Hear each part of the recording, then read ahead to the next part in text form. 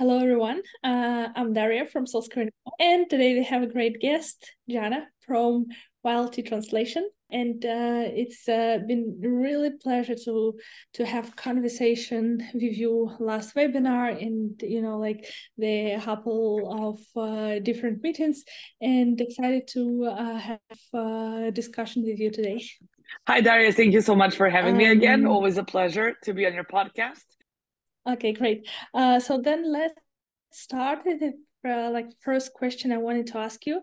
Uh, so uh, I know that you're running list optimization, translation, and localization agency, and what I can see here right now, it's like there are a lot of new markets which Amazon uh, kind of focus on.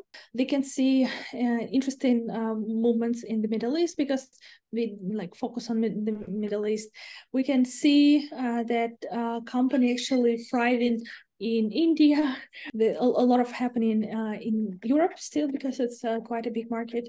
Uh, we can see there's uh, Australia, also Mexico, and like lot of lot, lot of different part of the world uh, which Amazon are active in.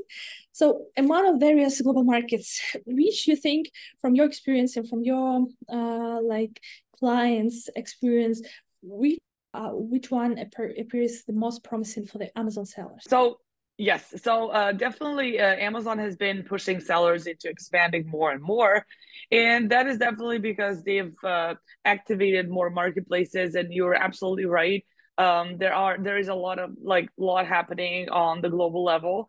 Um, Europe being a great continent to sell on uh, itself has a couple of new marketplaces like Sweden and Poland. Um, now, last year we haven't seen any particular increase in sales of those marketplaces, but I would say that this year that they've been thriving more than last year.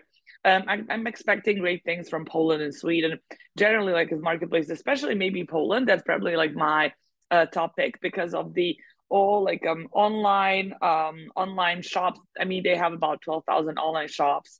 Um, their marketplace Allegro is uh one of the top top ten marketplaces in the world. It comes right after Tmall and Shopee. There are so many amazing things um that have great potential in Europe. So I would definitely focus on Poland next year. Uh, I think that that would be uh, probably a really interesting marketplace. Really curious to see how it evolves further, but also it depends on how much Amazon pushes that marketplace as well. Because what happened, like with the the Dutch marketplace, uh, when it landed on Amazon Map, uh, they didn't particularly do anything in the first year. Like they didn't even roll out PPC for that uh, specific marketplace.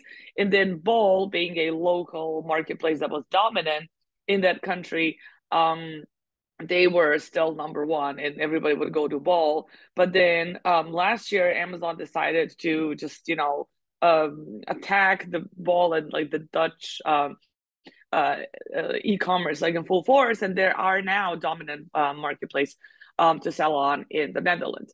So i would say that apart from amazon like bol is also very interesting to sell on in the netherlands as also as um, allegro. Like i think it's very very interesting.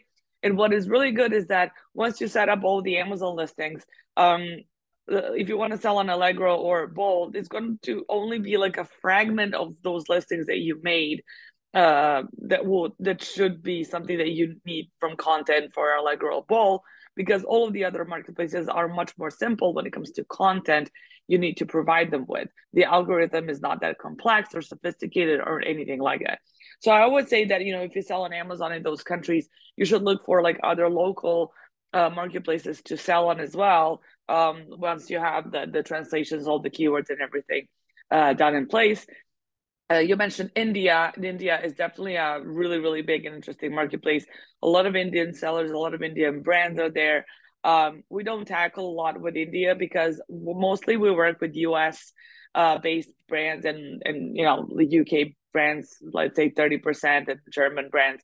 And they also want to go like expand elsewhere. But we haven't seen anyone decide to sell in India because the competition is pretty fierce in India. You cannot beat the, um, let's say, like uh, uh, whoever's running their PPC, like the workforce, all of that. You can't beat them because they are very, um, I would say, I would even say like, um, competitive in pricing i would say that they're like you cannot compete with pricing like they're offering what they're doing um, and they're very capable. They are very like they're fast learners. So um, I think that India is like very much saturated with Indian sellers. Um, but also like we have UAE being very interesting, especially for like US brands who expand, who don't need a lot of translations. If you want to target expats, for instance, like who want to furnish their apartments, home decor is still a good category to sell on uh, in uh, UAE. And of course, like the up and coming um, Amazon marketplaces, they've been um, preparing our South uh, Africa and Nigeria. I think that will definitely be like something very, very interesting. I think it's going to roll out next year. Uh, I think I, I posted about it last year, how this was like in the works. Um, so that is going to be really interesting to see how that goes uh, because that will be the first time that um, Amazon will be available on the whole continent.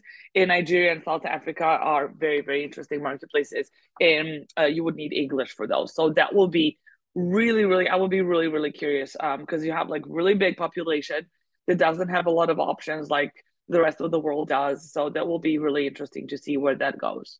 Yeah, wow, it's uh, really interesting because what we see here, we also expand into Southeast uh, South Africa, uh, mm-hmm. like this year. So yeah, I think it's uh, it's it's something what we're really uh, looking forward to.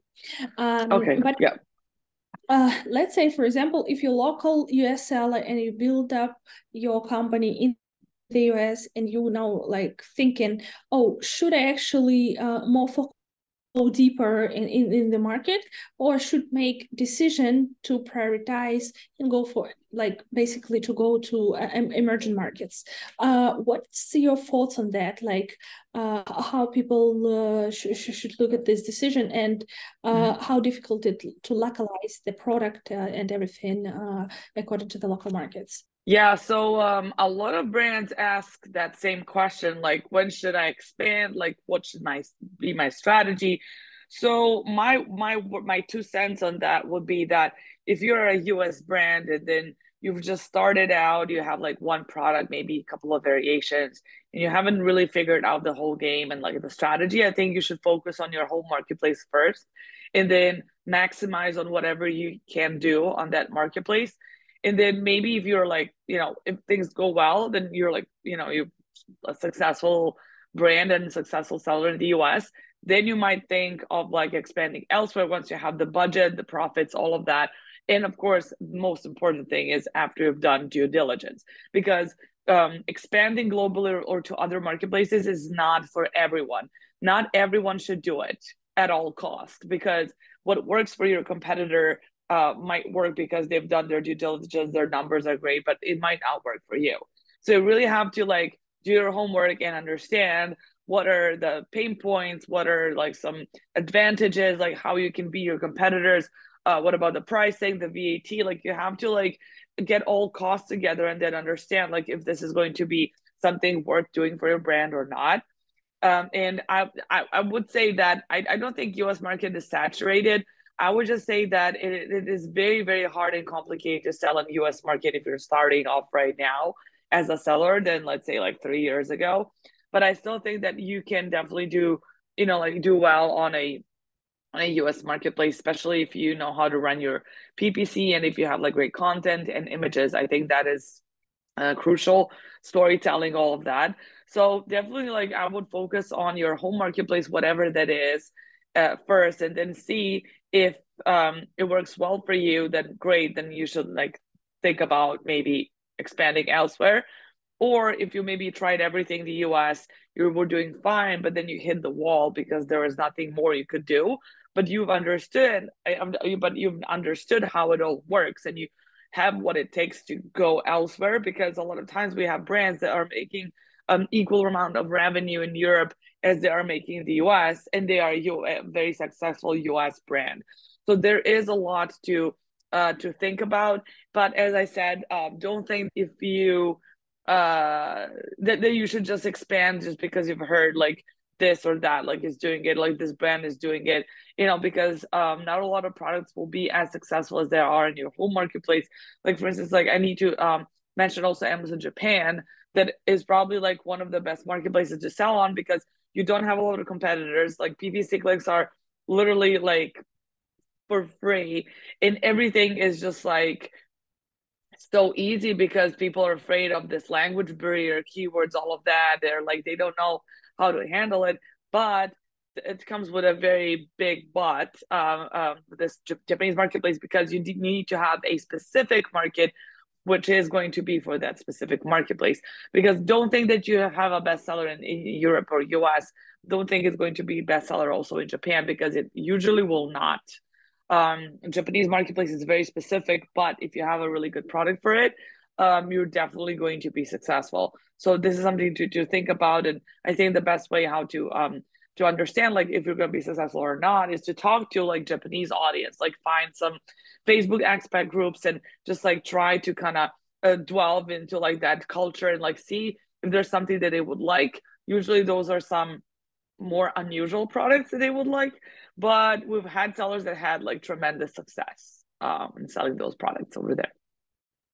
Got it. That's actually very interesting. They can kind of see the similar situation to their uh, with their uh, Saudi Arabia, uh, mm-hmm. because sellers they don't want to uh, create listings in Arabic, and they don't want to you know like go through all of this you know uh, hustle and uh, like uh, but th- basically there is like growing so fast the numbers are so good and it's not saturated as as, as and as you said their ppc is uh, really really low out there.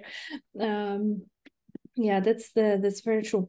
Uh but uh, like i guess in 2023 their seo becomes very uh very interesting topic because i guess mm-hmm. it's not working as it used to work before. For example like five years ago let's say then you optimize your listing and you get in like a lot of uh traffic uh like uh for free. I may be wrong uh, correct me if i'm wrong. Uh and um basically uh what do you think of the seo of the listing optimization now? Uh what purpose it works for? And how to set apart uh, yourself uh, against your competitors uh, using like different techniques? Yeah so when it comes to like foreign languages like not english it's really easy because a lot of times these brands they do not pay any attention to how it how anything sounds like in in the the uh, the foreign language because they don't speak it and their team doesn't speak it and they don't really understand uh, the importance of it. So they understand the importance of it on their home marketplace but they don't understand the importance of it on another marketplace because it's in another language. They don't understand which to me is still like a very big conundrum because I'm like, if the content matters to you in one language, why doesn't it matter to you in another language? So, you know, but when it comes to, let's say, English, when it comes to your home marketplace, I think SEO is very important. And I think now more than ever, like having really good keywords is something that is going to help you, um, you know, pop up in more search results and like get better, um, like more impressions, more uh, click through rates, all of that um, what I think it's the most relevant thing when it comes to listings eh, are images because this is what you see first, and keywords because without keywords there will be no visibility of your product. Um, so I think content, storytelling, all of that is important, but this comes second before keywords. Um, sorry, after keywords because keywords are crucial for the product to understand um to to to for the audience to understand that um you are relevant for like specific search terms um, I would say that, for instance, like in the US, what is really important is to maximize on, let's say, Spanish keywords and backends because of the Hispanic population. But what we've seen is that it also works with other countries. For instance, like in Germany, you have a very big Turkish population, then they would also search for some um, keywords in Turkish.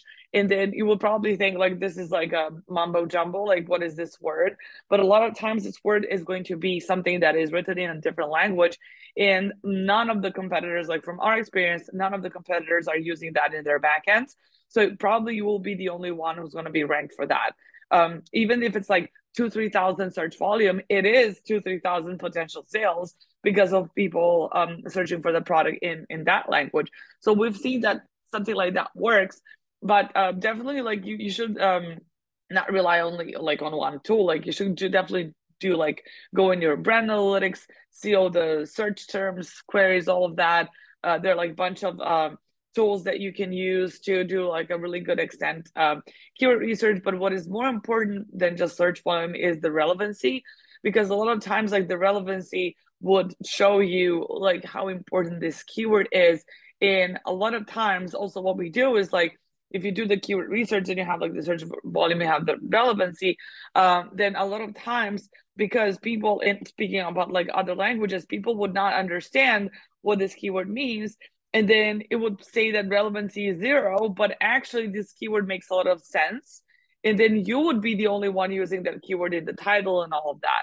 So I would say that when expanding to another marketplaces, uh, content in different languages is not that difficult to let's say like rank for like really well or really high. And i do like bunch of analysis on my linkedin profile where i analyze like top selling categories let's say in germany like wet brush and then like i did analysis like content top 10 like competitors or 15 don't remember.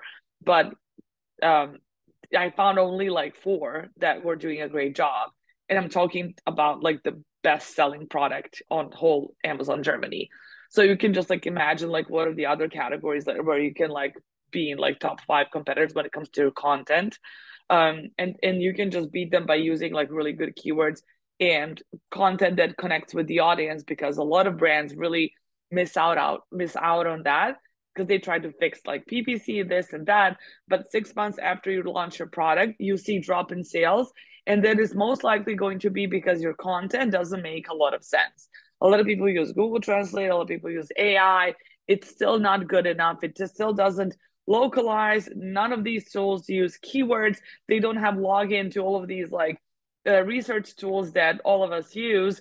So for now, it's still not great, and I would advise against using any of the machine or AI related uh, tools to create your listings.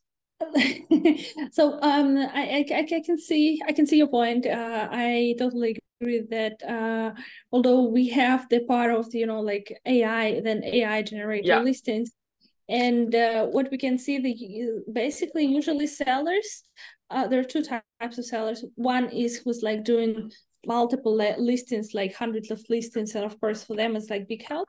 And even those who like basically uh, just just like playing the, the listing they're trying to see what their better version of the list and what the better version of the yeah that's that... that's that's okay. But what i was referring to is that if you want to create like a plus content like you know a plus plus premium whatever you want to like convey the same message you have from one language to another then it doesn't do a great job. What i think where ai does a great job is creating something out of nothing so when it comes to copywriting and writing something just like based off of like the prompt or like just like small information, then I think the AI tools like do a great job with this. But when talking solely about translations, like from one mm-hmm. language to another, is still just not good enough. And also because a lot of times these AI tools they just take certain portion of text they translate what what they think it's relevant and then they recreate the rest of the content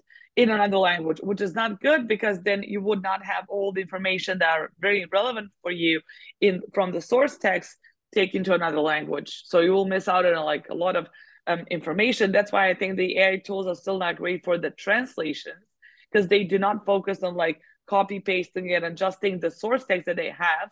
But what they are great at is creating new content uh, out of absolutely nothing. And that is why AI tools are amazing.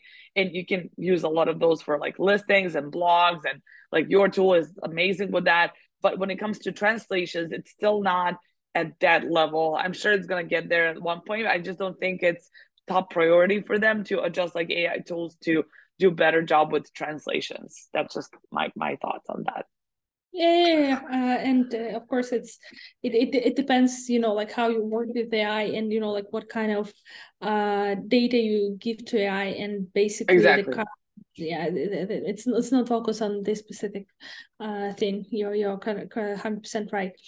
Um and when we talk about their uh like packaging like there's a lot mm-hmm. of sellers they asking like which countries uh, require you know like have some specific requirements of packaging for their uh amazon and which are not and how to approach uh this this issue uh like product packaging localization Yeah, well, uh, first of all, like Amazon has been pushing the simple rule that, is if you're gonna ship to a certain country, your label has to be translated to that language.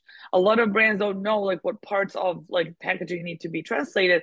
Basically, it's only like the back of the of the packaging with all the labels on it, ingredients, all of that. It's probably gonna be like about um, anywhere between like 70 to 150 words, so not much. So it's not a big of an investment uh, financially, but in order to ship to all of these countries, you need to have all of these labels translated to these languages. Otherwise, they would not pass customs. They would not enter the country. So what a lot of sellers do is like they have all these like peel and seal labels in the back, translated, let's say if they sell in Europe to all these six, seven languages, and they're good to go. Um, usually like um, depending on the product category, uh, you do have like some certain regulations when it comes to supplements. It's more or less difficult. I mean, they're just like bunch of regulations that kind of are the same as like what you can use or not use in your product listings. Like you cannot use, for instance, words like weight loss or loss, or in Europe you can't use words like dietary supplements and stuff like that. So we're well aware with like just like general rules of like what you can or like cannot apply uh, to like translate another language. But a lot of times like we um, uh, we rely on the sellers to just basically uh, deliver uh, the, those information to you, you know. So basically, uh, to us, so basically, we can um, rely on them to do like the whole legal uh, product compliance research and then give it all to us. But we are well aware like of the information that uh, we can't put on uh, the, the labels or have like some false or suspicious medical claims that something helps with this or will make your rash go away. But like playing with words and using terms like uh, that will, uh, for instance, uh, make this thing easier or might um, might help you um, feel more comfortable, not better, or help you cure a certain disease.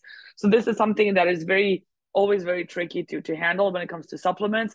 Of course, a lot of people have supplements because it's basically um, um, this is uh, what uh, brings the most money. So a lot of people want to be in supplements, but uh, there are like um, like different guidelines for those, and you know like whoever wants to um, you know uh, get some more information, happy to share the list that we use because we have like a full on vocabulary that we're like constantly updating uh, for all languages. So I'm I'm happy to share that if any of their um, audience is interested in that. And you know if it can be helpful to anyone.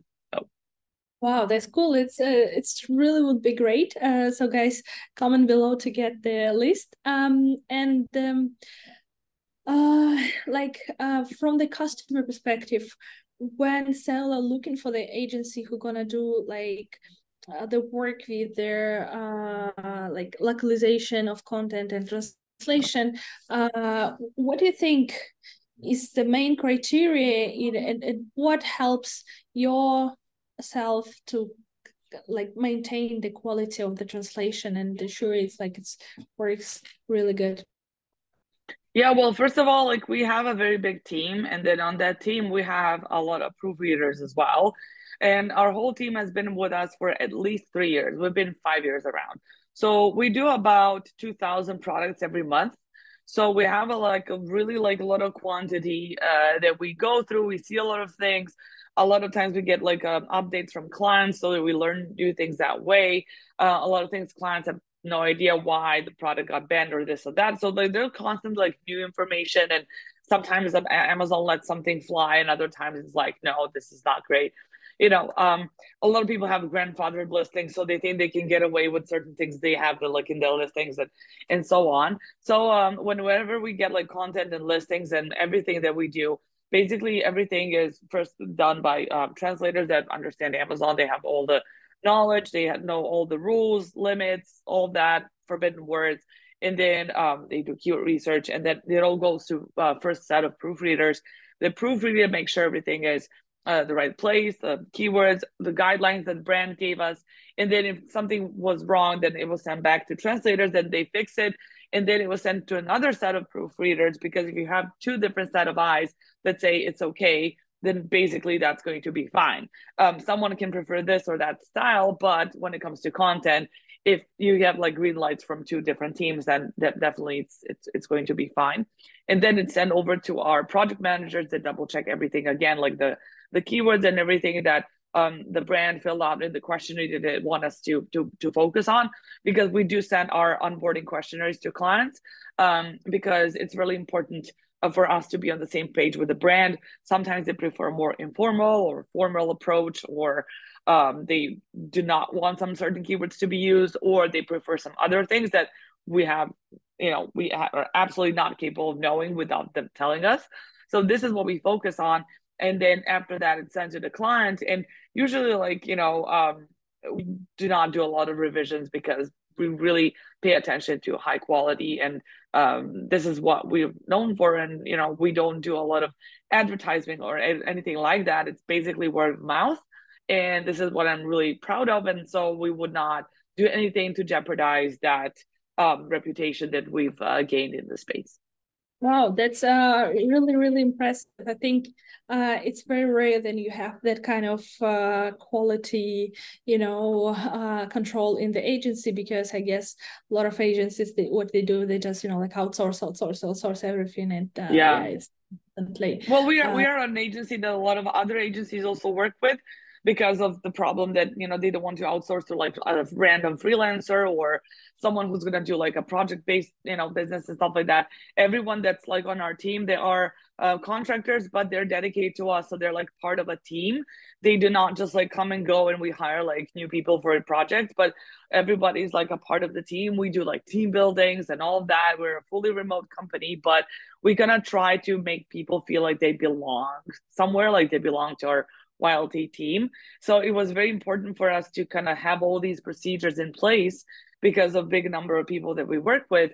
Um, and I think we've uh, we've managed to uh, to do so. Of course, I mean every now and then, like you know, we're all humans, human factors. There are mistakes that happen, but we really try to kind of prevent um, prevent that from happening too often. Wow, uh, that's really impressive. Um, thank you very much, uh, Jana, for, for their interview. Um, this was a really interesting uh, discussion. And uh, thank you guys for watching and uh, have a great sales.